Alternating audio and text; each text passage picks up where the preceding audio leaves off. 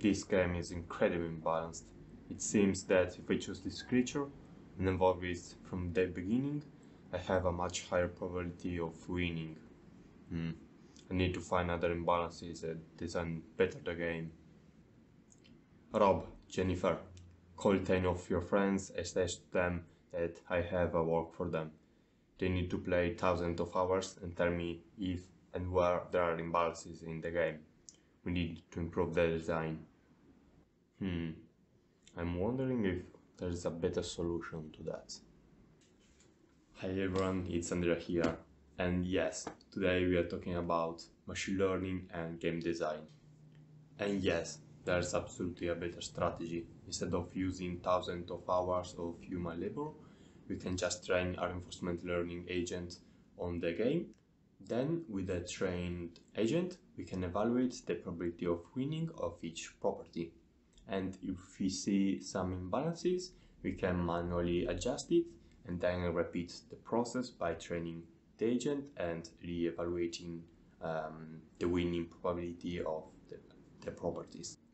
And Google has done just that. They use reinforcement learning to find imbalances in a game called Chimera that is a online multiplayer game where you choose one deck that has multiple creatures.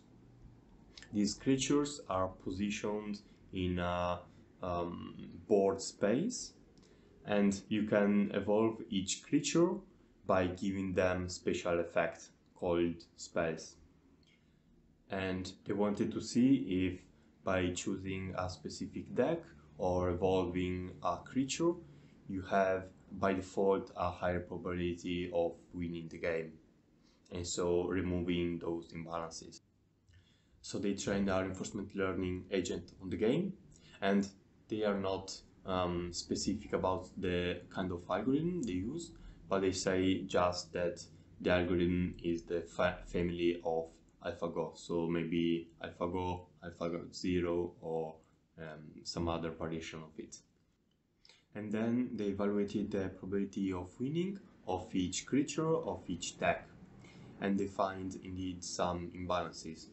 In fact, you can see that T-Rex has a much higher probability of winning with respect to all the other. So um, after they made some adjustment to the game, retrained the agent and saw indeed that, um, that the game was more balanced.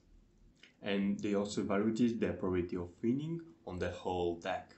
And you can see that at the beginning, the deck Evasion Link Gen has a much higher probability of winning, 60%, compared to Damage Heal. But after they made these adjustments to the game, they found that it was much more balanced. So yeah, that's a very cool application of reinforcement learning. And if you are thinking about creating a multiplayer game, consider using reinforcement learning to balance the players and the rules of the game. I'm Andrea. If you liked the video, drop me a like and see you in the next video. Bye.